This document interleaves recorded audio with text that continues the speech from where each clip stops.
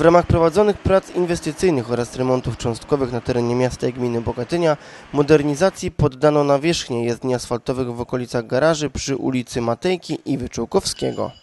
Oczywiście tutaj te garaże na rogu ulic Matejki i Wyczółkowskiego położone są w Nietce, no i niestety ten problem zalewania tutaj wiecznie doskwierał.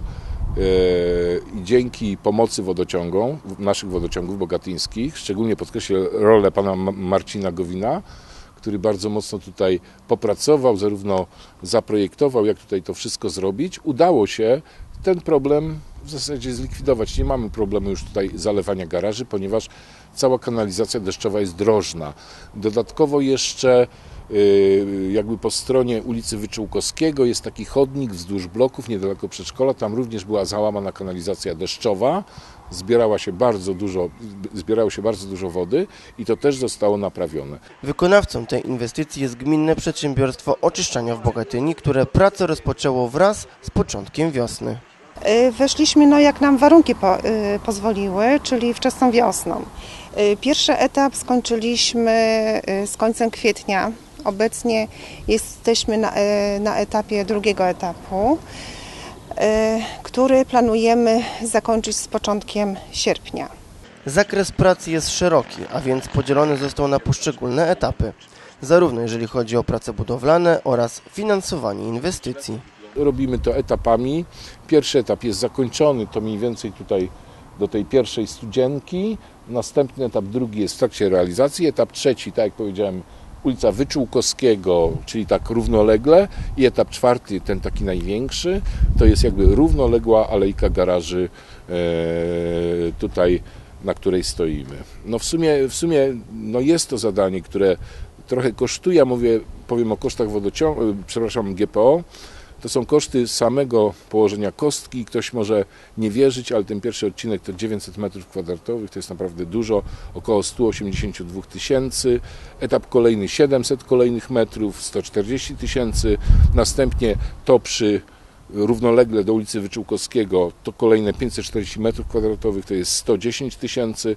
I wreszcie ten najdłuższy odcinek, równoległy do tej alejki to jest 1450 m2 i to jest prawie 300 tysięcy złotych.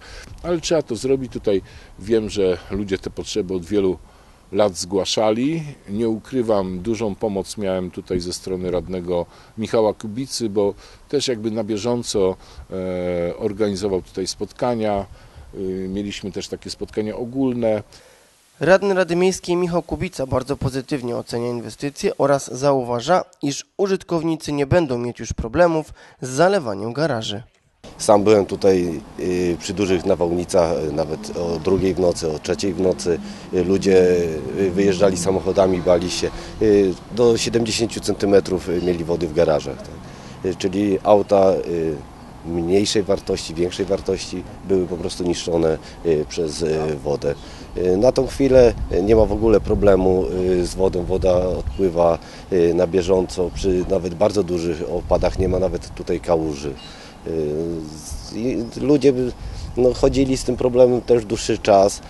Jakoś zainteresowałem się tym jako radny tutaj z tego okręgu i, i udało się tutaj, powiem tak, ogarnąć ten problem z wodą. No i, na, i tutaj y, fajnie, że GPO zdecydowało się y, przy pomocy y, burmistrza zrobić im nową nawierzchnię po remoncie kanalizacji.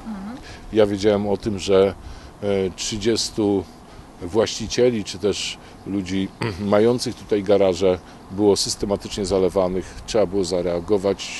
W gminie zawsze jest co robić, zawsze ten dylemat polega na tym, że dokonuje się pewnych wyborów. No, przyszedł czas tutaj, aby na Matejki tym tematem się zająć i tak jak mówię, e, wiele osób też nie chce jakby sobie tylko przypisywać tutaj e, tego, że udało się to w dużej już mierze wykonać, ale także to duża praca radnego. E, Cieszę się, bo bardzo wiele pomogła mi pani Jola Nietrzeba, e, prezes GPO z takim naturalnym zrozumieniem podeszła do sprawy. No jeżeli trzeba robić, no to robimy. Inwestycja w znacznym stopniu zwiększy estetykę tego miejsca, ale przede wszystkim poprawi bezpieczeństwo komunikacyjne oraz dojazd do poszczególnych posesji garażowych.